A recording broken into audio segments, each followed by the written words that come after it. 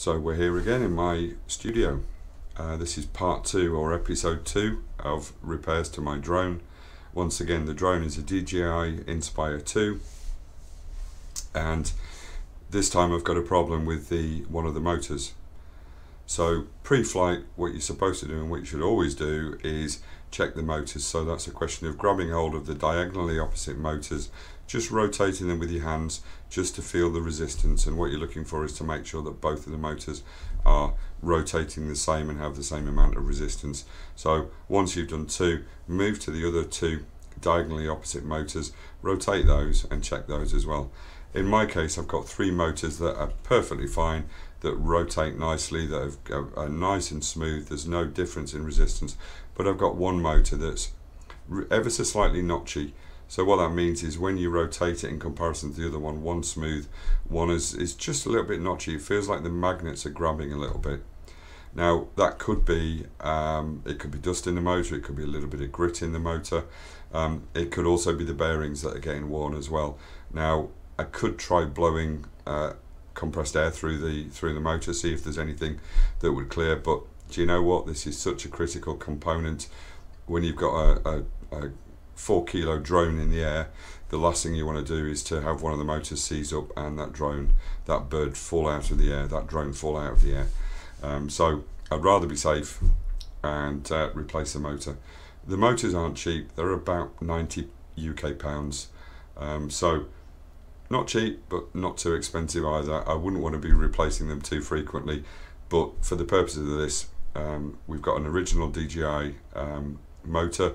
It comes with bolts, and what I've also bought in preparation for this is a few tools. So um, I've got a set of uh, flat nose pliers, very small set of flat nose, flat nose pliers, because from what I've seen from the drawings of the motor disassembly, um, there's a little connector to pull out. I don't want to tug on the wires, so I thought it best to get a little flat nose uh, plier just to pull the uh, pull the connector apart.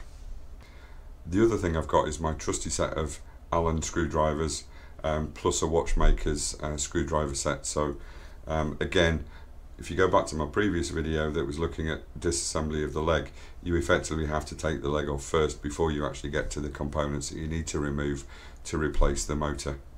So watch that tutorial first, that'll get you halfway there and then if you want to replace the motor then this tutorial will, will take you to the motor replacement. I've also bought some thread lock compounds, some blue medium thread lock compounds.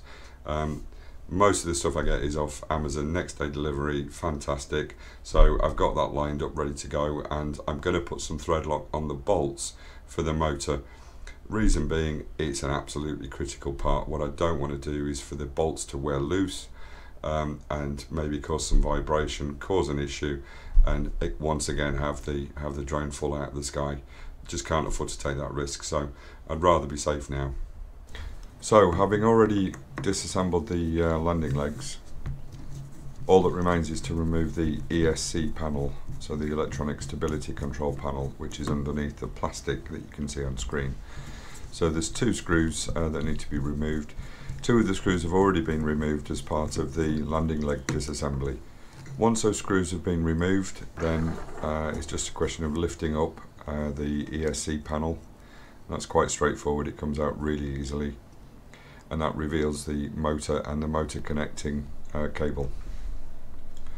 So using some um, preferably flat nose pliers, uh, it's just a question of inserting them into the into the space and pulling off the uh, connector. A little bit of a wiggle uh, gets it off, no problem at all. So then you can start to remove the four bolts that are inside. Uh, there's four Allen or hex bolts inside the, uh, the the back of the motor, and they're quite easy to remove. So just take them one by one and remove the Allen bolts. So take the motor out of the packet, uh, examine it, make sure it's the right uh, type of motor and the same codes.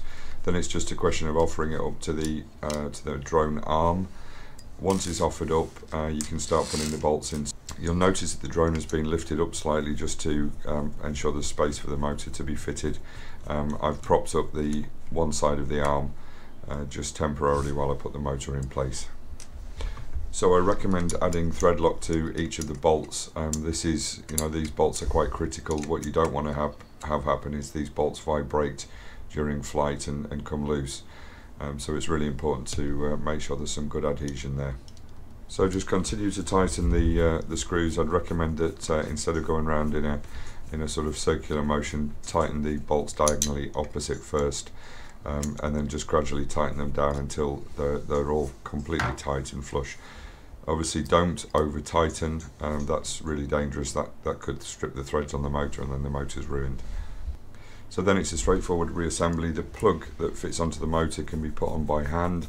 So if you level that up uh, with two fingers and just wiggle it from side to side and just push it on, just push on relatively easily. And then it's just a question of, um, of placing the ESC uh, panel back into position. Once that's back into position, then it's just a question of putting the, the two bolts in that you removed earlier. So that's it, motor fixed into position, all tight. Uh, it's just a question now of following the tutorial for the landing leg replacement and reattaching the landing legs.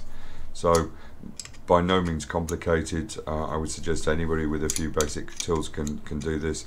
Nothing to worry about.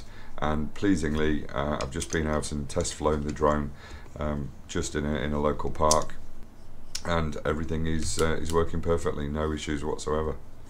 So thank you for watching.